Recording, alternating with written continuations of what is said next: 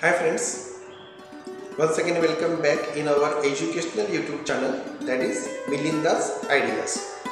Friends, in previous lecture, previous video lecture, we had studied electrostatic focusing system used in cathode ray tube of CR. And in this video lecture, we are going to study the second type of focusing system that is magnetostatic focusing system of CR.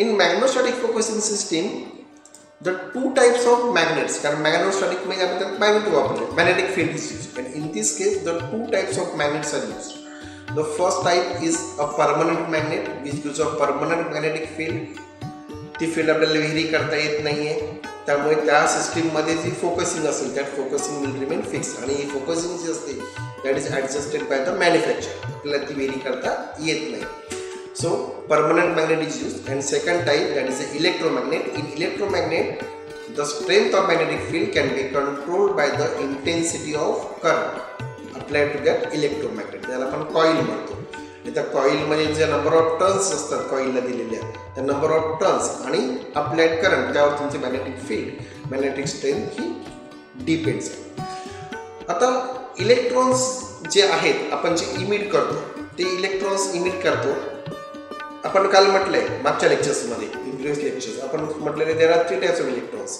axial electrons para axial आणि non para axial electrons आता हे जे ॲक्सिल electron जे आहेत ते काय केले? Cathode जो आहे कॅथोडकडून सी आर टीकडे एका स्ट्रेट लाईनने मूव्ह आहे त्याला म्हटलं आपण ॲक्सिल इलेक्ट्रॉन्स आता या ॲक्सिल इलेक्ट्रॉन्सवरती तुमचा मॅग्नेटिक फील्डचा इफेक्ट काहीच होत? का होत नाही? कारण मॅग्नेटिक फील्ड जी आहे किंवा मॅग्नेटिक फ्लक्स लाईन जे आपण जनरेट केलं त्याचा ॲक्सिस हा कसा आहे it is parallel to the axis of electron beam मग इलेक्ट्रॉन बीम जे मूव्ह होत आहे त्याचा जो ॲक्सिस जो आहे आणि मॅग्नेटिक फील्डचा ॲक्सिस आहे एकमेकांना पॅरल आहे. जस्ट लाईक तुमचे रिलेटिव्हचे रूल जे असतात एकमेकांना पॅरल तसे आहेत त्यामुळे त्याच्यावरती काय झालं? त्या ॲक्सिसवरती त्या इलेक्ट्रॉन्सवरती काय होणार? त्या मॅग्नेटिक फील्डचा इफेक्ट होत नाही. कुठल्या इलेक्ट्रॉन्सवरती first type of electron that is a axial electrons they are moving in a straight line from cathode cathode the C R T Second second electron जे आहे सेकंड टाईप जे म्हटले आपण these are the parallax electrons they emit the cathode with a very small angle. आणि ते electron तुमचे जे emit होतात ते इलेक्ट्रॉन्स काय झाले? त्या मॅग्नेटिक फ्लक्स म्हणजे आपण असं इमॅजिन करू ही मॅग्नेटिक फ्लक्स लाईन्स आहेत. या लाईन्स म्हणू आपण आणि हे इलेक्ट्रॉन बीम मूव्ह होत. आहेत पॅर ॲक्सेल इलेक्ट्रॉन स्ट्रेट गेले काही इफेक्ट नाही झाला. त्याच्यावरती इफेक्ट कुठला आला फक्त? The force exerted on that axial electrons are the force exerted by the accelerating anode and the pre-accelerating the accelerating anode. So they are moving towards the CRT screen with the very high speed. जे electron paraxial जे म्हटले आपण जे emit झाले small angle हे असे वर केले आता हे काय झाले आपण असे दाखवूया आता हा असा अँगल हे असे मूव झाले आता हे बघा हा जो इलेक्ट्रॉन जो आला ही जी बीम आली ही बीम जास्त जवळ गेली याच्यावरती जास्त फोर्स एक्झर्ट झाला मॅग्नेटिक फील्डचा पुढे गेले. त्यामुळे हे जे इलेक्ट्रॉनचे मूळ होतात ही जी जी बीम म्हणू आपण हे काय झाले याच्यावरती फोर्स कमी एक्झर्ट झाला ते परत पुढे रिटर्न गेले toward the electron beam toward the axial electron म्हणजे स्ट्रेट मूव्ह झाले. म्हणजे जसे इलेक्ट्रॉन आपण इमिट करू जेवढे ते इलेक्ट्रॉन जास्त अँगलने इमिट होतील तेवढे त्याच्यावरती जास्त फोर्स आपण एक्झर्ट करतो. That's are the axial electrons and the paraxial पुढे नॉन पॅरेक्स इलेक्ट्रॉन जे आले ते काय झाले? आपण मागच्या वेळेला म्हटलं होतं की फिफ्टी पर्सेंट तुमचे लॉस झाले. की लॉस होत नाही. ते वॉरवरती स्ट्राईक होतात कलेक्ट केले जातात आणि परत they are return back the journey to the C R T screen मग ते इलेक्ट्रॉन जे इमिट झाले with a very large angle त्याच्यावरती जास्त फोर्स एक्झर्ट झाला.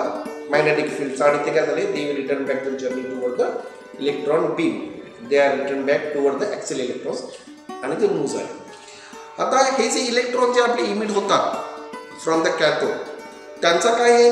तर प्रत्येक इलेक्ट्रॉन ची वेलॉसिटी डिफरंट आहे म्हणजे इलेक्ट्रॉन जे डिफरंट इनिशियल वेलॉसिटीज म्हणू आपण पण काय म्हटलं आपण त्याचा जो चार्ज टू मास रेशो जो आहे इलेक्ट्रॉनचा तो चार्ज टू मास रेशो आणि magnetic field strength of magnetic field the strength of magnetic field ती जी आली त्यामुळे काय झालं इलेक्ट्रॉन बीम जास्त वरती फोर्स एक्झर्ट झाला आणि त्या जास्त फोर्सने काय झालं ते मूव्ह झाले म्हणजे जो आपण करंट अप्लाय केला the amount of current apply to the electromagnet that decide किती त्याच्यावरती फोर्स अप्लाय करायचा. आणि त्या फोर्सप्रमाणे काय होईल? इलेक्ट्रॉन बी तुमचे सी आर टी स्ट्रीमकडे मूव्ह होतील. So in this case the magnetostatic field is use म्हणजे आपण मॅग्नेट वापरला. त्या मॅग्नेटमुळे जी फील्ड जनरेट झाली. त्याला म्हटलं आपण मॅग्नेटोस्टॅटिक फील्ड आणि in this case the two types of magnets are use आपण मग असे म्हटलं एक permanent magnet which is a permanent focusing fix focusing ते आपल्याला वेरी करता येत नाही. And second that is a electro that is a we are use the electromagnet that is a coil are use and the current applied to that coil and the number of turns of that coil decide the strength of my magnetic field आणि त्याप्रमाणे आपल्याला focusing adjust करता येतं. So friend this is our magnetostatic focusing system Uh, in next video lecture we are going to study the various types of regulating systems used in the CRT. So keep watching our video channel, keep watching our YouTube channel that is Milinda's Ideas. Bell icon la click करा, channel subscribe करा so that we can get a notifications when we are uh, आपण जेव्हा video upload करू then we then you will get the notification of that video. So friends, thank you. Keep watching. See you again. Bye.